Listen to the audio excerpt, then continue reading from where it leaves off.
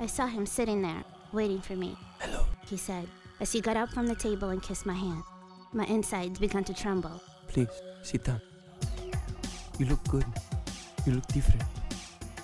You look like a woman. Whether he was being sincere or not didn't matter. So tell me, what do you want to do now? Chat room to bedroom. Totally available on Amazon.com.